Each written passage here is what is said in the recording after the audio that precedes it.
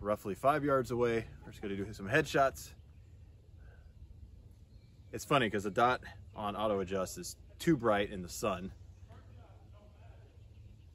But if I remember right, it wasn't quite as bright as I would want it indoors. So the auto adjustment, mm, not my favorite, but it does work. It is visible all the time. It's just, I wish you could adjust it uh, manually to where it could be higher or lower than it thinks it needs to be. If that makes sense. All right, welcome back, guys. Today we are going to be talking about this sight right here. So, in case you can't read, um, it says Olight on the side.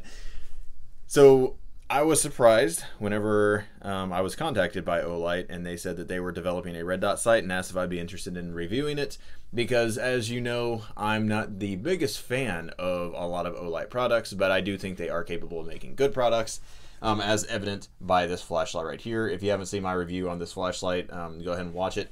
Long story short, I think it's a great value for under $100, and it's probably the best light under $100 on the market, and it gives even more expensive lights, you know, a run for its money. Um, specifically the Surefire X300 Turbo. Now, again, if you want my full review of that, you know, go back and watch my review. But that I paid for myself. This was sent to me by Olight for free. So full disclosure, I didn't pay anything for it. And obviously, you know, them sending this doesn't influence me. At least I try not to let it influence me. I give my opinion and I'm unapologetic uh, in my views. So, with all that aside, um, I think this is a decent deal for what you're getting. Um, if you're familiar with all of my, you know, five optics that are back there. Those are all more well, maybe not this one, um, but the rest of those back there are all budget friendly options that are you know under two hundred dollars. Most of them are around the hundred to hundred and fifty dollar range. Um, but this is kind of another option in that price range. But this one comes with a lot more features, and we'll kind of get into some of those being good, some of them being you know just kind of mediocre. Um, but it comes around. I think the MSRP is about 199, so about $200. Um, if you wait for, you know, they they have sales every so often. Um, you can always wait for one of those if you want to get it a little bit cheaper. That's what I did for this light whenever I bought it. But you know, MSRP is about $200, so you might see a little bit cheaper out there. Uh, you'll just have to kind of look around.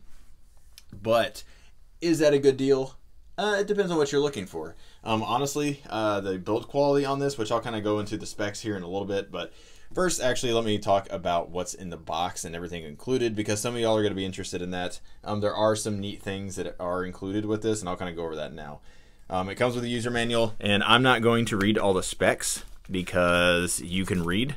So I'm going to let you see this here. You can pause it wherever you want, and then you can look you know, pause it, then you can read whatever you want because I'm not going to read all this stuff. I don't think there's anything down here. Yep, there is. I can read, I promise. All right, there you go, there you go, there you go. There's all the information, and we got into different languages. All right, so there's everything on there. I'm not going to read the specs because I don't care about that. I care about the practical um, usage of this in my experience with it. Now, full disclosure, I only shot about 100 rounds through uh, this gun with this optic because I was testing for specific things and problems that I've had with pretty much all of these optics. So again, if you've watched these optic reviews, you'll see what I'm talking about here in a second. Now, part of these issues are related to this style of cut. Um, this is a Zev RMR cut, which I'm not necessarily a big fan of, and you'll see why in a minute because a lot of optics have the same problems uh, with this style of slide versus they don't have that problem with a actual RMR you know pattern so again most of the issues I ran into this are because of the slide and the tolerances and the specs when it comes to these holes right here um, but we'll get into that in a second. So I want to talk about the main positive things first. So the positive things first and kind of the things that come in the box is obviously it comes well packaged. Olight's known for that comes with your charging cable and it comes with this nifty little battery pack. This is basically a battery bank designed for this optic. So and i apologize i took all this stuff apart because i kind of wanted to show you all the individual components and then i'll show you what it looks like on a gun here in a minute. But this little battery bank has a little port right there and then you push this button on the side and it tells you what the battery capacity is. I charged this optic and it was I think about 50% battery life whenever I first started charging it which means it drained about a quarter of here. This battery bank, when fully charged, will recharge that optic three times. So that's kind of cool. You don't have to worry about plugging a cable directly into the optic anywhere that would mess with, you know, its uh, ability to resist water, dirt, and crud, you know, pocket lint, belly button lint, whatever. So that's kind of a neat feature. Um, that's kind of thinking outside the box. Now it does retain Olight's kind of, oh, not proprietary, but unique way of charging their things, which is magnets. So if you put this on here, it notice it sucks in and that's because there's a magnet in there and it holds it in place. And if you look on here it's saying it's fully charged. So if you push the button on the side it'll tell you the charge of the optic which is almost entirely charged. Well it is fully charged. So if I get this out sorry that's a little bit of annoying then it'll just show you if I push the button again well it'll turn off here in a second. But right now it's showing you the battery uh, what's left in this battery bank. If I push the button again it shows you what's left. So whenever you attach it to the optic then it shows you the battery life of the optic. So that's cool. Um, I like that. I'm not a huge fan as you know of the oh what would you call it? Just the magnetic charging um, capabilities of the flashlights of Olight specifically. Again, that's why I really like that Olight, the Turbo, because it takes two CR123 batteries. I like the ability to be able to take out stuff and charge them. Now, this um, runs into that same problem as if you're using this for training or something else. Um, you're not going to be able to change out the battery. If you notice it's dead, you're just going to have to run iron sights for, you know, an hour or so, just enough time for that to charge it. Which, I mean, if you put that on there for 30 minutes, it'd give you enough time to, you know, finish charging uh, for your day's use or whatever. So that's not that big of a deal um, but it is still something. So when it comes to internal batteries, this is probably the best system I've seen just because it gives you a way to charge it and check it every now and then. Also, whenever this is mounted on your gun and you put this on there, this will actually fit. You can see it's saying uh, it's fully charged right now. But uh, whenever you put it in a holster, it will actually fit in my Alien Gear Rapid Force holster. Now the hood won't close because it's a level 3 holster, so that won't close over it, but it will still lock in, so that's kind of cool it probably won't fit in whatever your holster is just because that's that's pretty chunky but I thought that was, you know, an interesting feature. Now, it does not come with a Picatinny rail adapter plate. I wish it would because this wouldn't be a little a bad optic to put on something like, say, an MP5 or a PCC or you know something like that where you want just like a really small profile. Um, so I would like to see something included like this, especially since a lot of cheaper options do that. But that's not a deal breaker for me because usually these are pretty cheap uh, if you want to buy a good one. Um, you know they're not that expensive. Now it also comes with, um, well, just stuff that really doesn't matter, but it comes with a little tool right here for adjusting, and it's kind of interesting. It has like a little skull on there, but it's used for adjusting the windage and elevation, and it also comes with a little torque screw on the end right there, which I would not use because you should always be using a torque wrench whenever you're tightening down screws but you know it's there. Comes with a cleaning cloth. Yep. And it comes with a little bag to i guess put that thing in the charger. I won't ever use that but you know it's included. So it does come with multiple screws and it comes with this nifty little box which is filled with foam and the screws are inside. Um, what i plan on doing is actually taking the foam and these screws out and using these to store all of my screws because again, I have like 15 different, you know, tiny red dots and a whole bunch of screws, and then extra screws that I bought off eBay for testing things. And so having these little boxes is actually kind of useful for me. And they slide off of each other like that, and they reattach. So I thought that was kind of cool. But you know, little doodads and knickknacks aside, it does come with screws for different pattern cuts. Um, one thing I will say though that I ran into problems, I was unable to use these screws, and this will come to my main complaint. Now, I will say this is most likely just a problem with this batch of screws. As you can see on there, see how it's all shiny? The threads are completely gone. I don't know if you can see that or not, but the threads are gone. Only two threads um, actually were able to engage on my slide. And again, let me show this to you. So these ZEV posts right here stick up a little bit, and then the optic obviously sits on top, and then it screws down in two. So with this optic, because the body um, sticks out so much. You know, it's however thick that is before you get from here to where the bottom of that little kind of funnel bevel is. Um, it's a certain height. And these screws are obviously not long enough because when I tried to tighten these all the way down, it would only engage two of the the uh, threads before it started having like a decent amount of resistance. And that's that to me isn't adequate because that basically makes one revolution of this screw um, whenever you're tightening, and that is not enough. One revolution of screw is not enough. I, in my opinion, for a duty use optic, um, require two. I've had some screws come loose whenever uh, you just have one full rotation. Um, I mean, and even whenever they're torqued down correctly, just because I don't think there's enough thread engagement to actually, you know, grip to hold things in place. Now, for a range gun, I don't think that's a problem. One revolution is probably enough for a range toy, but for something for serious use, you know, um, that's not that's not good. Now, that said, these screws clearly failed. Uh, again, hopefully you can see. Yeah, you can see that. So the screws on this one, the threading just completely stripped off. And I only tightened these down to 10 inch pounds of torque. And again, I use a, it's a, oh, who makes this? I think it's a Wheeler. Yeah, I use a Wheeler fat wrench and it was set to 10 because I start low and then work my way up just to make sure, you know, stuff like this doesn't happen. And then so I tried another screw and I got the exact same thing. This one stripped off as well. There's a third one included in there, but that doesn't do me any good because it's a third screw and I need two to work. So I don't know again if all of the ones that were sent out or all the current production ones are going to have faulty screws in there or if that was just my specific set, but that to me was not acceptable. Also, these screws are not long enough. So obviously, as I told, uh, they're the two threads, that's not enough engagement. They need to include a set that's longer than these when it comes to the 440. I don't know about these other sets of screws. They might be fine, but again, these need to be longer. The 440s need to be longer so they can fully engage in here because there's a lot of threading in there that they could have utilized and they just didn't. So that was obnoxious. Now I do have these screws here. These are the exact same screws that came, well, they, are the exact same 440 screws that are in here, uh, but these came with a different optic.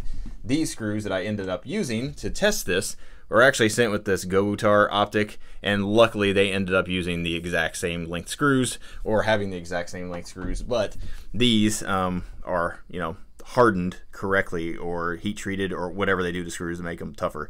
Um, the threads never stripped out on these, and I was able to torque these down to, I believe, 14 inch pounds of torque, which is what I do on all of my optics that use um, these 440 screws. I believe the torque range for most optics are 12 to 15 inch pounds for these specific screws. Could be wrong, but that's generally what I'm seeing. And they should be able to handle 15 uh, inch pounds just fine. And obviously they did on this one. Now, why all that matters and what, what my issue is with this optic specifically. I'm happy that they included screws um, when it comes to this style of cut because this is what I do a lot of testing on. But if you'll notice, whenever I put it on here, you can see that. Hopefully you can see that. Let me hold it up to the camera. You see that right there, how much wiggle there is.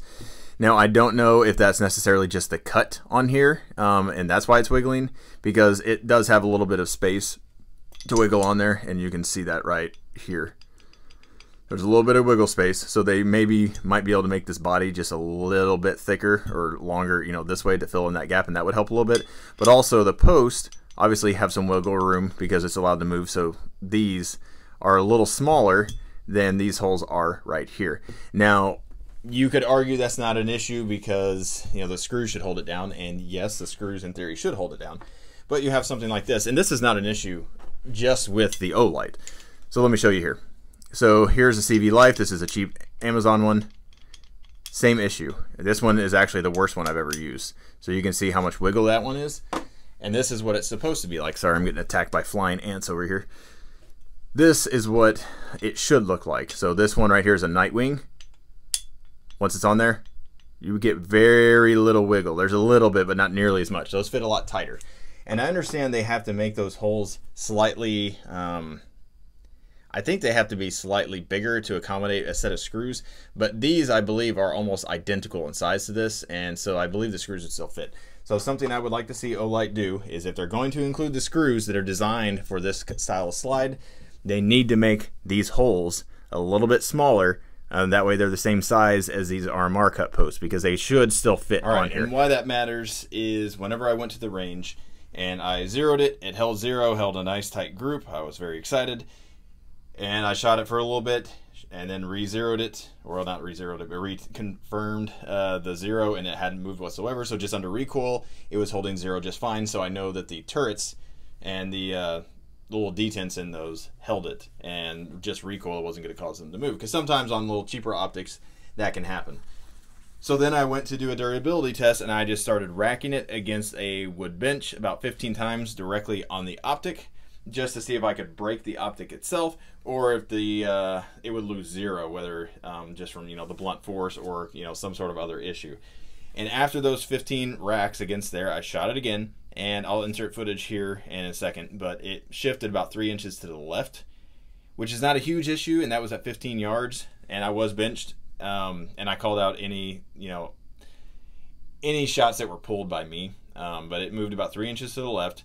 And then I shot it again, and two or three of those rounds, if I remember correctly, uh, impacted still there, um, like but well, not three inches left, but about one and a half to two inches left, and then a couple went back to the original zero, and I thought that was weird. How is it shifting itself back to where it was?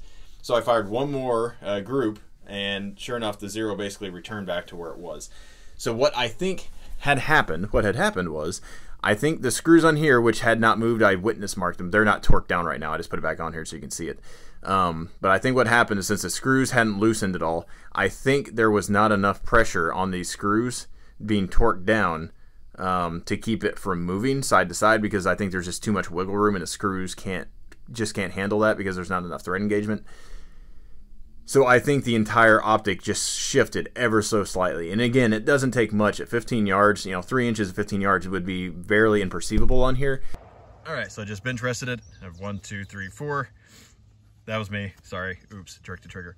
So here's where it's zeroed at. So I'm not to actually zero zero because I'm about to beat it upside a piece of wood. All right, just so you can see, gun is empty, no mag. Got a racket against here. Right about there should be good. So.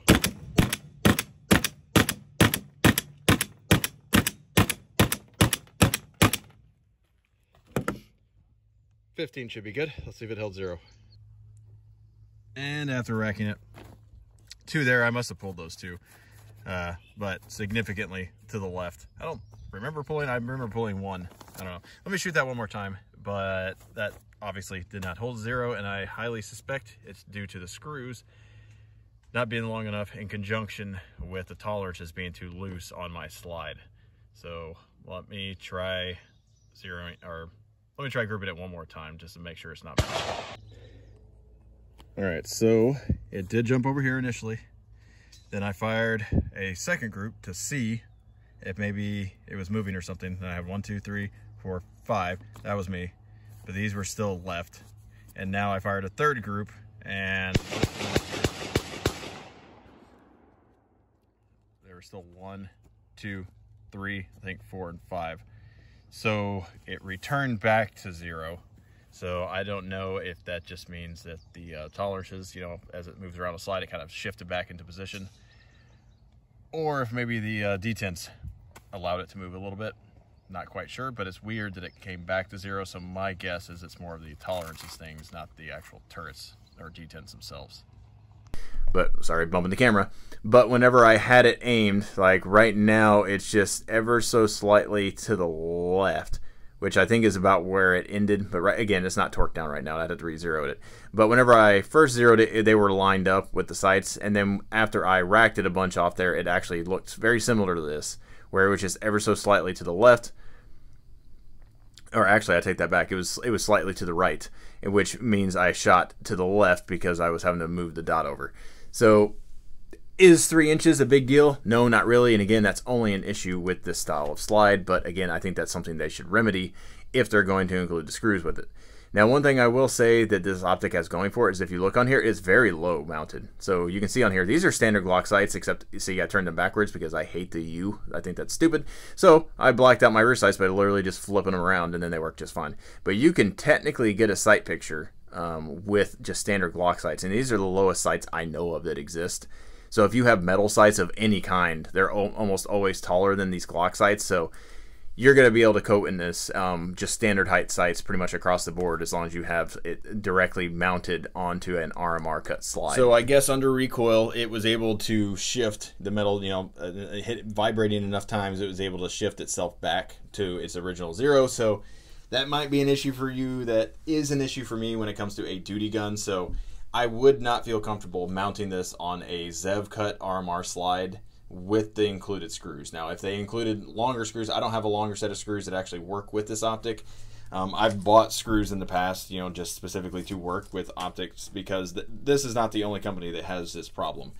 Pretty much all the ones back there included too short of screws with their optics, so that kind of annoys me. I guess they use the industry standard screw length, whatever that is, but they need to test specifically with the screws with their optic on the slide it's designed for and take measurements because that's kind of annoying. To me, that's a QC issue that I think they should have resolved before releasing this, but you know, that's just my opinion. But it will not be an issue, at least I, I'm 99.999% sure it shouldn't be. Because whenever you mount this again on a standard RMR, which I did on here, um, and I'll show you here in a second, there is absolutely zero wiggle. And if anything, that's actually the tightest optic that I put on this plate. And let me just show you that real quick. All right, so I just removed it from the slide up there. And as you can tell, here is a standard RMR cut slide. And it won't just sit on there, you actually have to press it down. So that to me is a very snug. Like there's there's absolutely zero wiggle. So as long as your RMR, I actually had to even pull up a little harder to get it off here because it's almost a suction fit. So if you have a standard RMR cut or you have an adapter plate for whatever your gun is and it has an RMR, as long as it's tight fitting like this, I don't think you're going to have any issue whatsoever. I think, again, the problem was just the combination of the screws with that slide and everything else. So if you're using traditional RMR cut slide, this thing should be solid. All right, so that out of the way, that was the biggest negative. My biggest gripe was the screws and then the fitment on there. But again, that's just, you know, sucks to be me because I have a Brownells cut slide. That might be you. I doubt anyone else that's reviewing these will mention that. All right, so features on here. It does have a light sensor, and correctly so, they put it on the front because I think Holosun maybe um, actually mount theirs like on in here or something, so it's actually looking up, which is entirely worthless to me because you know you might be aiming somewhere that's a different lighting condition than where you're currently standing. So they rightly so put it on the front, and I like that they did that. Now, I will say the light sensor on here is not as good as something like the CUDA, the C-U-D-A. I've done a review on theirs as well. Theirs is by far the best light sensor I've ever used because it was perfect in every lighting condition I could throw at it. Now, this one, on the other hand, I think needs a little bit of work. And again, other people are probably not going to say this, but you get the truth here. So, indoors, it was not allowing it to get bright enough. It was always too dim. Now, there were some conditions indoors where it was usable, but I would have preferred it to be a little bit brighter. And then whenever you use something like this light right here, which is very, very bright, you know, it has the turbo, has very high candela, it just washed out this red dot completely. Eventually, if you stared at it long enough, you could kind of see a red dot, but it was not great with um, a high candela light. With a normal light, say like the TLR 1HL, um, you could see it better, but it still wasn't good. Like it, the red dot should have popped out, and I had to hunt for it almost every single time. You can see how it's kind of dim right there. In my mind, it's actually too dim just in here. So indoors, it would not get bright enough. Outdoors, it was too bright. I don't, I don't know how you manage that, but whenever I went outside and started zeroing everything, I had to turn it down because it was just too bright. Now, I would rather it be too bright than not bright enough. Um, so indoors was kind of a deal killer for me. I could deal with it too bright outdoors, but that was kind of annoying. But to say that, I'll go into the features. So that feature is only on setting three. It has three different settings, and if you push and hold the plus, it does well multiple things. One, it shows you the battery levels. It's got green, yellow, and red depending on how dead the battery is. So you don't necessarily need that hood to see how you know your battery's doing. But mode three um, is the auto adjusting, so it auto adjust, and it does adjust pretty quickly. Like to be fair, it adjusts probably within about half a second. I would say like you can see it adjust, but it's so quick that you're like, did I see it adjust? Oh yeah, I just barely did. So it's adequate in my mind. I would prefer it to be a little bit faster. Uh, the CUDA again blows this one out of the water, but that optic is twice the price. So I get it. Uh, the first mode is actually manual, so you can completely ignore um, this little sensor altogether and just set it to whatever you want, which is what I would recommend if you buy this optic. And then it also has a second mode, which again, if you hold down the plus for a couple seconds, it'll blink, you know, which mode it's in. Um, that's a lockout feature, which means you can set it on whatever optic or whatever uh, brightness setting you want, and then turn it to the lockout mode, and these buttons will do absolutely nothing. So if you're worried about accidentally hitting buttons, just you know set it to whatever setting you want and then turn it to lockout mode. So that's nice. Again, it has a battery feature, uh, the battery charger on the top. Um, it does have drainage ports on either side, so water, if it gets in here, will in theory drain out the side. Um, it does also have a lens right here protecting the emitter and keeping crud and water and stuff out of the inside, which I had problems with some of those optics over there. So you can see how tall this optic is. It has a larger window than most, but they smartly decided to make it taller instead of wider. I don't really like optics that just hang off the side. Like for instance, this uh, I think this is CV Life. Yeah. So the CV Life, if you can see on here, it's wider, um, but it's not. Let me see if I can put these side by side. Sorry, this is weird looking through a camera, and this optic is not actually mounted to there right now. Oh, let's just do this. All right, so side by side, you can see this one is substantially taller, but this one is wider. That wider view doesn't really give you a whole lot because your gun doesn't move from side to side. It moves up and down. So the reason they designed this one to go up and down is because under recoil, your gun is going to be flipping up and down. And they made it taller so you can, in theory, you know, continue watching your dot and it doesn't disappear off the screen. So, that said, that was a good design choice. Um, I prefer smaller windows in general, and I'm I'm okay with this size because it actually does serve a purpose. But to me, smaller windows are easier to find the, the red dot in, so I, I actually like um, what they did with this because it's kind of the best of both worlds, and it doesn't hang off the side of your gun getting snagged on stuff. So kudos to them for that. So again, hopefully this gave you a pretty good review. I'm sure there's going to be a lot of other people out there. They're going to say nothing but positive, glowing things, and I mean, it is a, from what I can tell, solid optic. The body on it is pretty durable, pretty tough. Um, if you look on here, you can see just how much thicker it is metal-wise than something like this uh, Siley, and you can see why that broke um, because the metal is so thin. This is a little bit chunkier, so it should be able to withstand, you know, blunt force a little bit better, being dropped a little bit better. Um, if you appreciate this content, uh, let me know. Again, hopefully I give you as unbiased of a video as I possibly can because I'm not bought and paid for by anybody. Um, like I said before, I actually lose money on this channel. So if you have any questions about this optic specifically, or just anything in general, just comment down below. I try to answer every question uh, and respond to every comment that I can. Like, subscribe to the channel. Um, it really helps with the YouTube algorithm because YouTube doesn't really like, you know, gun content. So anyways, hopefully you appreciate this, and I hope you all have a good one.